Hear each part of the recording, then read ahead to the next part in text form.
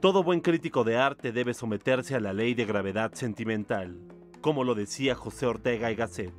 Abandonar el lado racional y dejarse ir por el sentimiento para poder decir con valentía una opinión clara sobre la expresión artística que se tiene enfrente. Bajo esta ley trabajó Raquel Tibol, cuyas escrituras en forma de ensayos y reseñas tienen esa emoción platónica que conjuga una escritura racional con la sinceridad.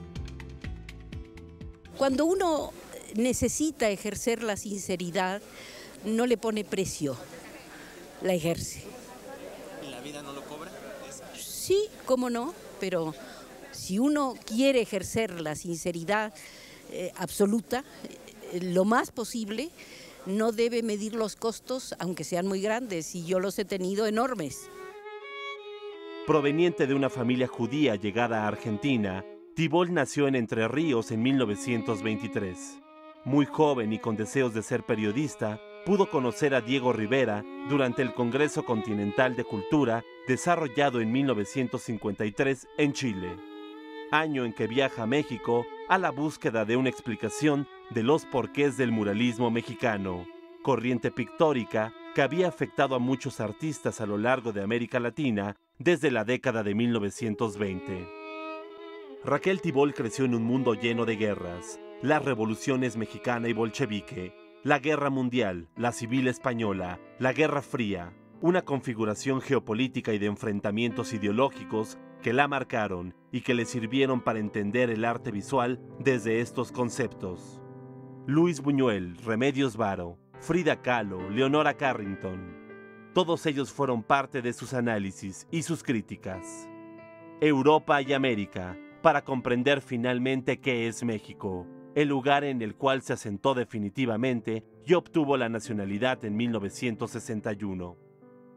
El arte construido tras el muralismo y la porrevolución mexicana también pasó por su ley de gravedad sentimental, al entender las obras de artistas más contemporáneos como Alberto Gironella, Vladi, José Luis Cuevas y Francisco Toledo. Sin ser condescendiente, criticó lo que no le gustaba, por ejemplo, los cuadros de gran formato de Toledo o los gordos sin sarcasmo de Fernando Botero, la megalomanía improductiva y poco funcional de muchos proyectos culturales provenientes del Estado mexicano y otros más de coleccionistas independientes. Los políticos se han vuelto un mal en este país, de modo que tendrá que ser el pueblo con eh, sus mejores eh, fuerzas eh, de clase, de trabajo, de economía, con sus mejores desgracias sociales, empujar para que caigan esta cantidad de políticos, logreros, oportunistas.